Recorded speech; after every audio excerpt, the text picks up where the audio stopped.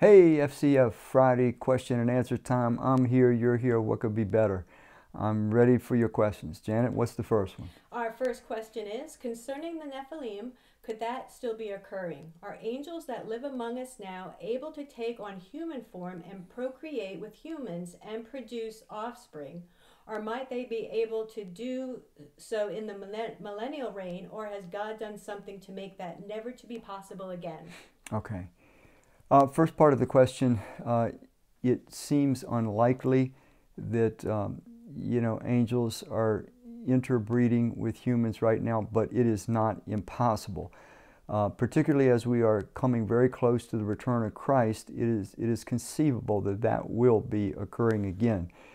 Um, now, as, as far as angels taking on human form, to, uh, or can they do that today, and could they take on human form and procreate? The answer is yes. Or has God done something to stop them? Well, maybe. Let, let, let me read you a couple scriptures to show you what I'm saying. Is we don't have a definitive answer, but we do have an answer in the book of 2 Peter. I'm going to read you chapter 2, verse 4. It says, For if God did not spare the angels who sinned, but threw them into hell, or Tartarus is the word, and locked them up in chains in utter darkness to be kept until the judgment.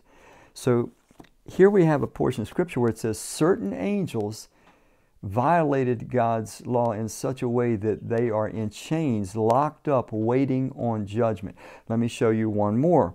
In the book of Jude, we have uh, a very similar statement. The book of Jude, chapter 1, verse 6. They have testified to, oh, excuse me, I'm reading the wrong verse. Um, here we go. You also know that angels who did not keep within their proper domain, but abandoned their own place of residence, he has kept in eternal chains in utter darkness, locked up for the judgment of the great day. So here's twice it speaks of a certain category of angels that are kept in chains, locked up, waiting the great final day of judgment. So, with that in mind, let me take you to one more. Uh, the book of Revelation, chapter 20. Chapter 20 is when you have the return of Christ, and right after that, you read in chapter 20, verse 1 I saw an angel descending from heaven, holding in his hand the key to the abyss and a huge chain. We've been reading about angels and chains. He seized the dragon, the ancient serpent, who is the devil and Satan, and tied him up for a thousand years. The angel threw him into the abyss and locked and sealed it so that he could not deceive the nations until the 1,000 years were finished. After these things, he must be released for a brief period of time. So here we have three references about angels in chains. Now, the last one was for Satan only. However, if you read in Revelation 12, chapter 9, there is every reason to believe that when Satan is locked away, all of his rebellious angels will be as well. In Revelation 12 9, it's talking about the start of the last three and a half years of human history before Jesus returns. It says, So the huge dragon, the ancient serpent, the one called the devil and Satan, who deceives the whole world, was thrown down to the earth, and his angels along with him. Now, I want you to understand that has not happened yet. Satan and his angels have not been forced down into this physical earth yet. Jesus talks about that in Matthew 24. But when Jesus returns, Satan is taken, arrested, so to speak. He's put in incarceration, in chains for a thousand years. So there is every reason to believe that so will all of his um, fallen angel rebel cohorts. They will not be allowed any movement whatsoever during the millennium. Millennium means thousand years. Now, we read in Revelation 20, after the thousand years, he will be released. He being Satan, probably his, his angels with him, and they will bring temptation back to earth. And there's one final human revolt on earth before Revelation 21, the eternal state is finally resolved, and we have new heavens and new earth wherein is righteousness, no more sickness, sorrow, pain, and death forever and ever. So I, I, hope that answers that. I know there are some parts of it that we just don't know. There could be some things occurring today. Uh, I am highly, highly concerned about the UFO phenomenon. Some of you have heard me speak on this before. Uh, in my opinion, this is absolutely dark angel activity uh, using deception on mankind, preparing us for the last great final deception that we are warned about in the book of 1 Thessalonians chapter 2 verse 9 and 10. Okay. Our next question is What resources would you point someone to who has been influenced into believing scientists who use science to prove evolution, date the earth billions of years old, and discount biblical evidences for creator? Okay, the best thing I can do, and I'm going to uh, say these references, and I'm sure Joe will put a graphic on the screen, but the first thing I would do is urge you to go to this, this site. The site is answersingenesis.org. That's all one word. Answers in Genesis, all one word, dot .org. The second site that I would tell you to go to is reasons.org. So reasons.org. Um, let me explain to you why. Okay, both of these are sites with tons of scientific scholarly material dealing with these issues, but from two different points of view. One is a Christian man, Hugh Ross, who believes in what I'm going to call old earth theology. I'll have to talk about this a little later in another question. The first one I gave you, Answers in Genesis, is a group of scholars and scientists that believe in a young earth theology. So that would be the place to go when you're trying to uh, be more aware of how to address issues with someone that's been influenced by atheistic beliefs and that kind of thing. Okay.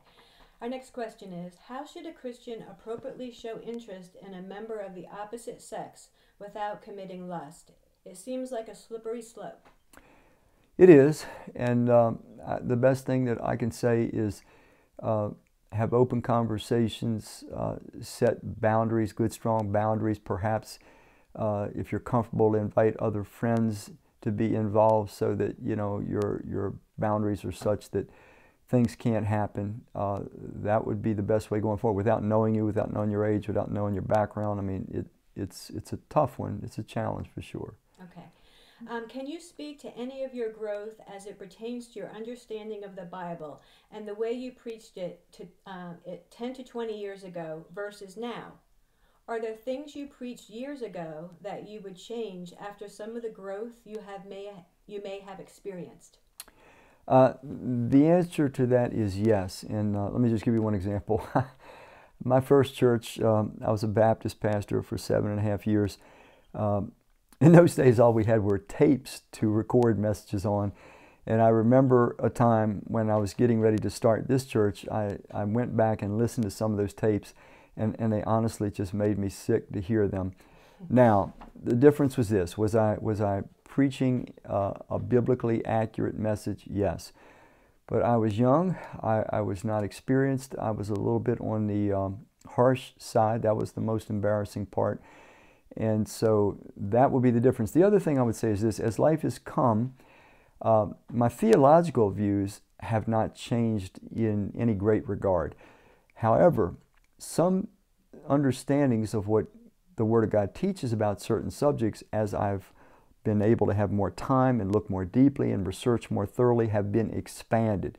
So I, I see things, and we all see more and more and more of God's truth. We may have had the base understanding of God's truth at a very early stage. But we come to understand more about how it connects to the character of God, how it works out in life application situations, and, and expanded views of, of some, some key doctrines too. I don't want to get into it too much, but there, has been a couple key doctrines that um, as, as I've grown and had time to research the Word of God more deeply, research Christian history, I, I have uh, slightly altered views, but, but nothing dramatic. Nothing that would not be considered completely orthodox by Bible believing Christ followers. Okay.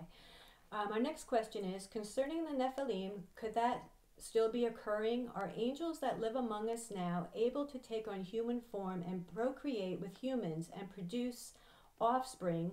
Or might that be able to do so in the millennial reign, or has God done something to make that never be possible again?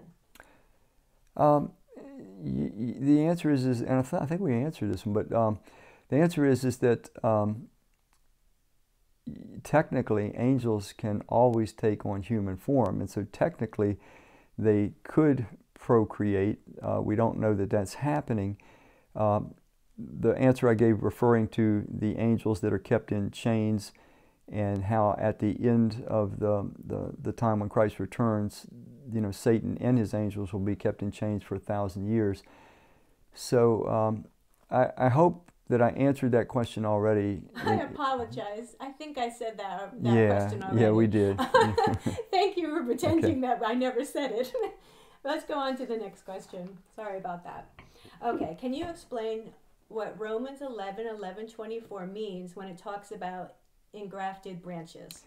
Yeah, when you're reading in Romans 11, it's, it's talking about the issue that um, God originally chose the nation of Israel, but this is so misunderstood by people. What did it mean that they were chosen? A lot of, a lot of people think that when it says God chose them as his people, that they were automatically heaven bound, and that literally it was just arbitrary on God's part. He just chose them. They're going to be with Him in heaven for eternity no matter what. That is not at all what the Bible teaches. They were chosen to be a nation that God was going to reveal Himself to, have them start to write down the written revelation, keep it, preserve it, pass it on to other generations so that ultimately the whole world could have a, a written revelation of the truth about God and the truth about life. So they were chosen to be recipients of God's truth, and then to be those that preserve it and pass it to the world. When you come to Romans 11, it's saying that something has happened when the Jews rejected God in all of his fullness, when the Messiah, who turned out to be Jesus, God in his fullness, was come, and they rejected him as a nation, not every Jew. In fact, let me just clarify that. Most of the first followers of Jesus were all Jewish, thousands of them. Read the book of Acts. However, uh, the vast majority of the nation, led, misled by their religious leaders, they rejected Jesus as the Messiah, and He was God. He was the Creator, revealing Himself in His fullness. So, the baton of revelation, as it were, was passed on then to a new body of people called the church. The word church in Greek, it's ecclesia, the called out assembly. Now, anytime someone puts their trust in Christ, becomes his follower, we gather together as Christ followers, and now we are the revelatory, communicating people to the rest of the world. So we have been grafted in. We're, we weren't brought in by blood. In other words, if, if you were a Jew, you were born a Jew, and part of the, uh, the wonderful benefit of that is you were given the scriptures. You were given God's revelation just by virtue of your blood heritage. Now, today, we're, we're everything. We're, we're Jews, we're Gentiles, we're Chinese, we're Asian, we're African, we're, we're American, we're all these different things. But once a person trusts in Christ, now we are the ones that God is revealing Himself through to the rest of the world. Now, the written revelation is finished, it was completed uh, with the end of the New Testament. So, the Gentiles, which is just another name in Scripture for anybody that was not a Jew, we've been grafted in, so to speak. It's kind of like it's, it's the images of a tree. You know, you graft a branch in and then the fruit grows from it. Um, but eventually, eventually, there's going to be a, a change of the baton, a tossing of the baton, or a change of hand back to the nation Israel. And if you read on in Romans 11, it refers to that. Eventually, Israel will become uh, a, revelatory people. One third of the Jews will turn to Christ, but that's not until the very end or toward the very end of the tribulation. Okay. When you are saved, you have the Spirit, right? Can you walk away from God if you have been saved? Or will you not be able to do to the Spirit if you do walk away? Do you really believe, have the Spirit within you to begin with?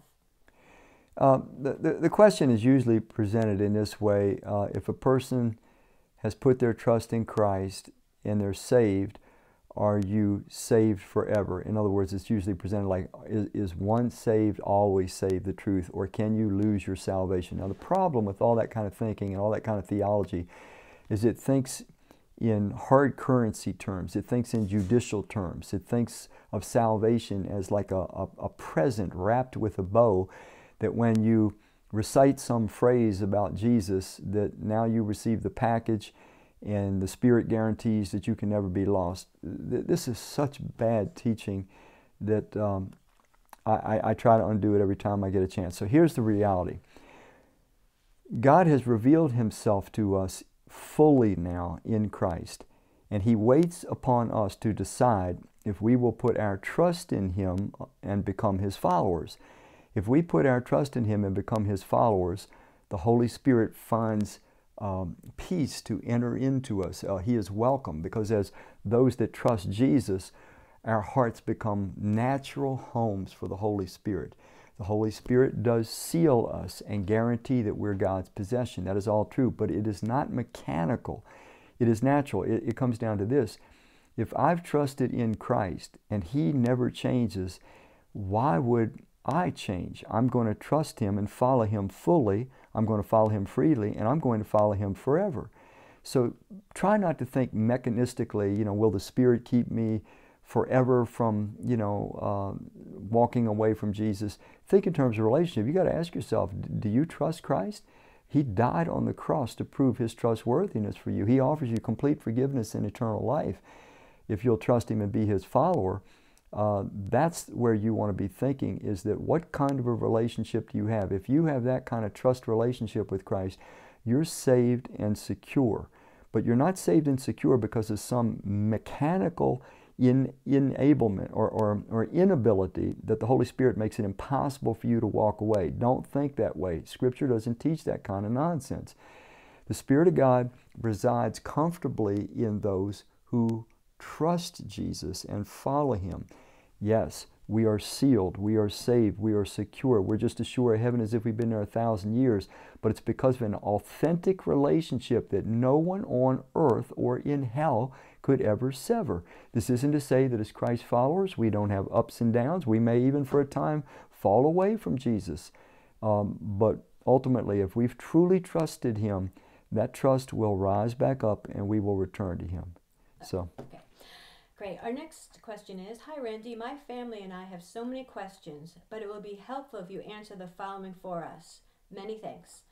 In Mark 10 17 31, a rich man has a conversation with Jesus. During this talk, the rich man called Jesus good teacher, to which Jesus replied, what do you call why do you call me good? No one is good except God alone. Jesus lived a sinless life. So why did he imply he was not good? Um, the reason is, is because Jesus knew that the individual asking the question didn't really believe that he was God. And, and that was his whole point. He was saying, you know, he was trying to awaken this individual. Are, are you aware, in essence, he's saying, that the only one that's really good, truly good, is God alone? And so Jesus was trying to get that person to understand that he himself was God and that uh, that is the only way that he could be good. So he was not denying that he was God. He was trying to awaken the person to the fact that they were dealing with God, though they were looking at a 33 year old man. Okay. How do we show up and show love as Jesus did for all people without enabling or excusing sin? Please answer in general, then specifically to the following two examples. First example, we are invited to a close friend or a family member's same sex wedding. Second example, Loved one is searching for identity through various beliefs like atheism and the Satanic Temple. Uh, let me answer the first part, uh, the general question. The general question how, how do you show support without uh, uh, seeming to support sin or a sinful lifestyle or something like that? Well, you know, you do it the way Jesus did. You, you treat people with respect no matter where they're at in life. You do your best to communicate to them uh, if it's at all possible, that God is for them, that He loves them, that He wants them to have the best kind of life possible, but He cannot give it to them until they return to Him in trust and are willing to obey His word.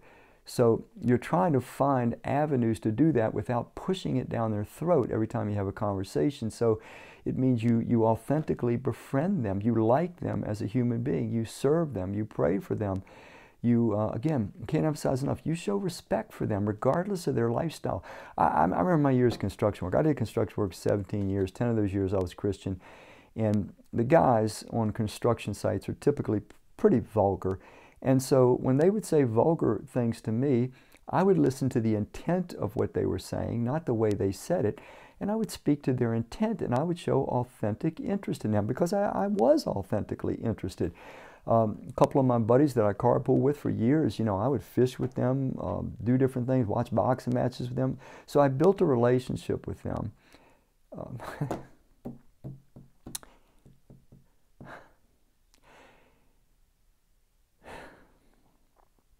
because I really liked them. I really cared for them. And, and folks, that's the secret. People have to see that we care. They don't know. They don't care how much we know until they know how much we care. And you can't hide that if you care. And it shows itself in authentic respect.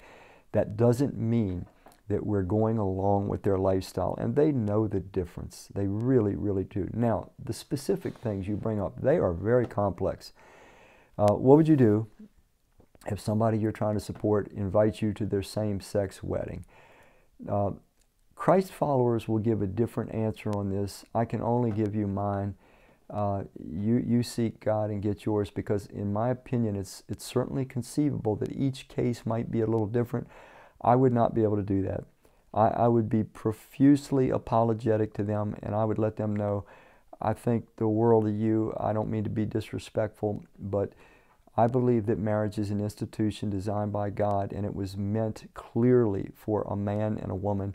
And I can't support you in a lifestyle that I do not believe will ever ultimately bring your highest well being and happiness. They would still probably be offended, particularly today. That's the position I would take. Now, as for the second one, that's a little more easy. When a person is at a place of spiritual exploration, that's frankly a good place. And I don't, I don't care what they're exploring. They can be exploring Reiki, witchcraft, uh, New Age theology. Uh, uh, you know, I, I don't care. As long as they are exploring spirituality, this gives me, as a Christ follower, an opening to talk to them and say, you know, you're looking at these other things. Have you ever, as a thinking, mature adult, considered reading the scriptures, the New Testament. Have you ever really just given time as a thinking adult? Would you consider doing it with me? We, we'll pick a book in the Bible, we'll start reading it together, the Gospel of Mark, and we'll start discussing things. This gives you an avenue. Don't attack their involvement with the Satanic Temple or don't attack their um, escapades in atheism. Uh, rather, say, you know, you're exploring all these things. Would you consider exploring what other intelligent people down through the ages have found to be very credible the record of one that claimed to be the creator of the universe named Jesus. So, so that's the way I, I would handle those two. Okay. I really want to know about those guineas in Randy's yard. Do you eat them? no, I would not dare eat them. But um, some people do, and they say it's very good. Yes, yes, they're supposed to be very good. No, but what, what we are uh, going to try to do is uh, eat more and more of their eggs. They're a little bit tricky capturing their eggs. They lay them all. Oh, they're not like chickens, man. They, they lay them all over the place. But they're they're pets, and uh, they're we, great at getting bugs. Yeah, they, they are great bug eaters, particularly ticks, and we have a lot of deer ticks up here uh, in the mountains where we live. And they're so. mu- amusing to watch. They really are. For us, yeah, yeah, we, we, we kind of we're desensitized to you know to them. We, we don't even mind their crazy squalling and. Uh, but it's not for everybody for sure. So thank you for asking.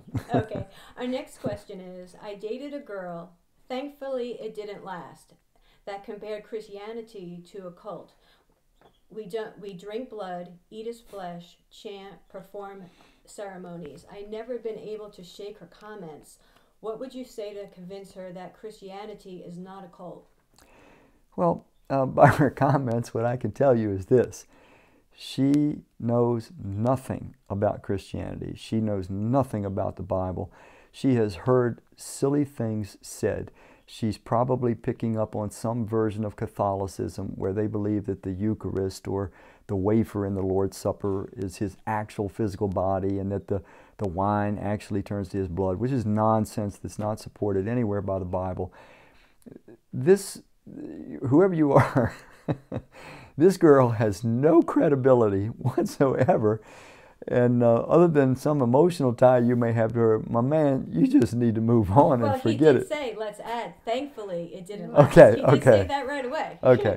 But hers is one of the most ignorant statements. It's the kind of cliche, ignorant statement that you pick up uh, at certain YouTube sites for, for atheists that think they're being clever.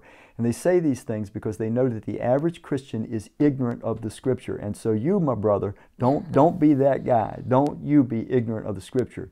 You study for yourself and you'll know that what she's saying is idiotic. Okay. In the Bible, many individuals become kings at an age so young it doesn't make sense. Recently, you mentioned someone who became a king at seven. Were these folks figureheads until they became a certain age? What is the youngest age, roughly, when the kings were actually ruling? Yeah, the case that I talked about was the case of Joash, who had to be hidden away for the first six years of his life from his maniacal grandmother who wanted to kill him. Uh, now, under that time, he was under the tutelage of the priest named Jehoiada. And Jehoiada, if you read the whole story, continued to counsel and direct and nurture the young king until he became old enough to, you know, guide the affairs of the kingdom itself. By the way, th- this has been done throughout human history, not just in um, the biblical kings, but kings from every tribe and tongue, whether it's an Assyrian king or it's a Babylonian king. You're, you're born with that kingly blood. And sometimes, as it happens, you're just a child when the throne is given to you. However, you have a whole court of individuals that are giving you advice and counseling you and keeping your, your rule in the place that it should be until you get to the age where you can start to, you know, make wise decisions. So that, that's the way it was done in the biblical king, uh, kings as well. Okay. Your teaching on Noah this Sunday has me wondering. I just can't help but but to wonder what Noah may have felt like in the first moments of any rainfall after the flood. Would he have wondered to himself in those moments if it would be the start of another flood? Well, um, what this tells me is that you did not read the story of the flood, which starts in Genesis 6 and it goes all the way through Genesis 9.